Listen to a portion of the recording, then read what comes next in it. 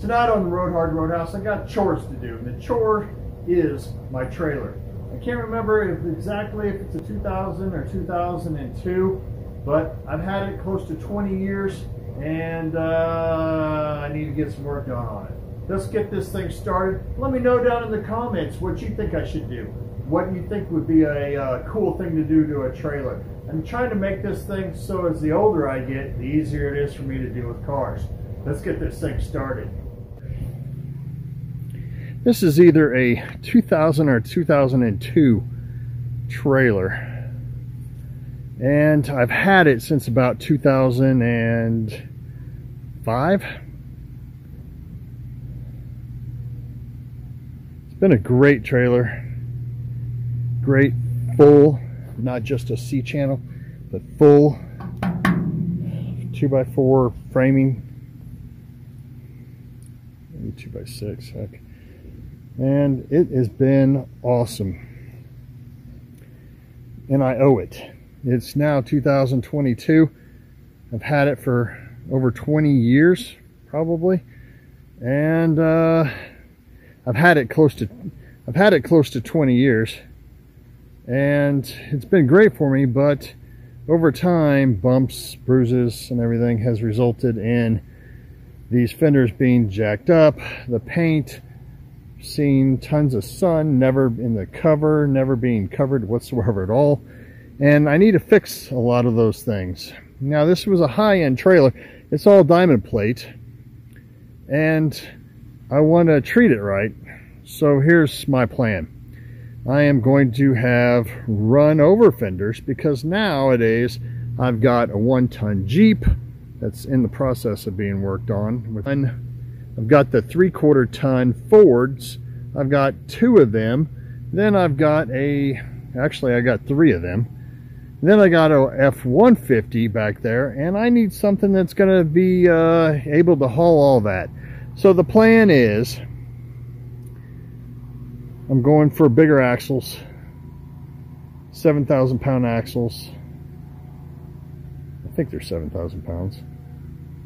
Then some of the things that have caused me issues with this trailer over the last 20 years is the fact that the rear end is so low. So I'm going to get that fixed by putting on the bigger axles. Not only are they going to help me with weight on these big trucks I'm pulling around, they're going to help me lift up the trailer just a tad so I don't have to worry about that back in dragging ground. Have run, the next thing I'm gonna do is I'm gonna have run over fenders. And on top of that, most likely diamond plate.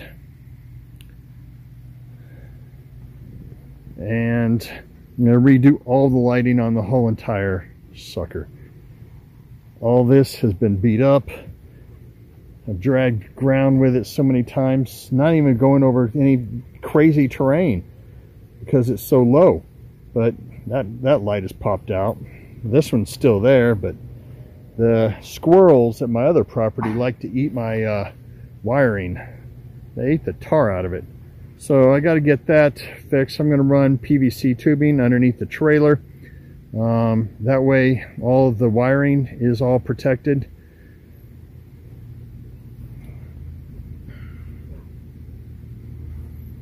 And one of the biggest things is I am old now and I do not want to ever pull up a car again by using come-alongs and, uh, and ratchet straps. So I am going to put a solar powered system on here with my winch that I'm to buy for this sucker.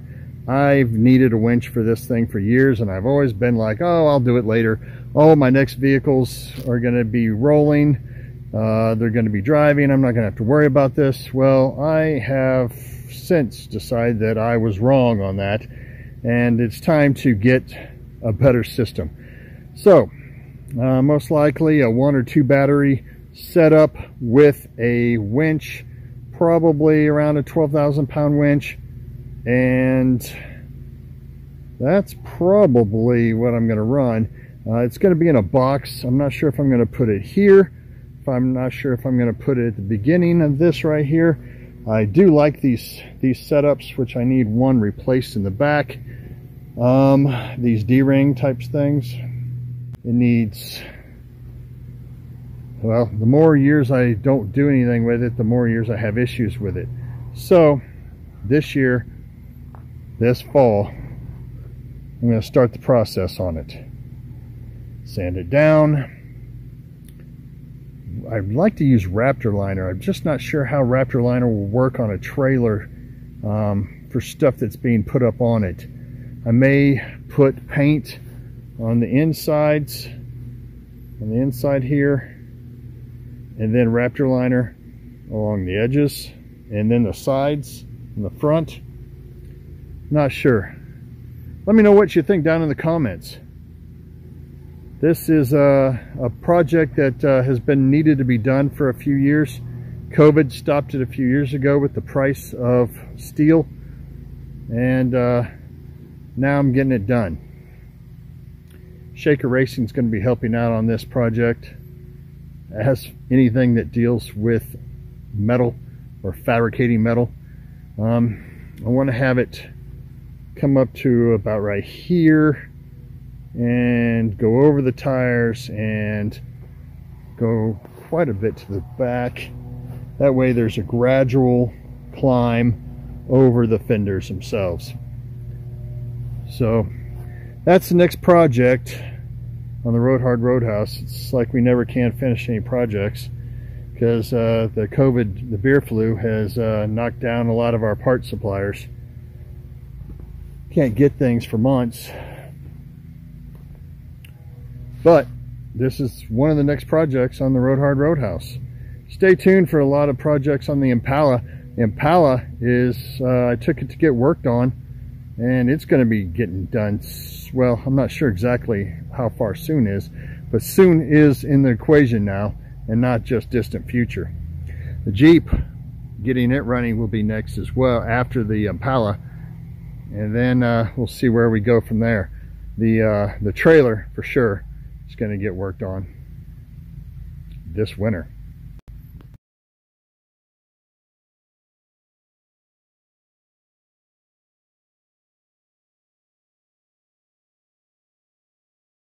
Let me know down in the comments what you think I should be doing with this trailer. I need some help on this thing. I want to do something where as the older I get, the easier it is for me to haul around my vehicles. Thank you all for watching, and as always, if you ride her hard, don't put her away wet. You have any ideas on this solar stuff? Have you done it? Let me know down in the comments. Put a link to your video. Thank you.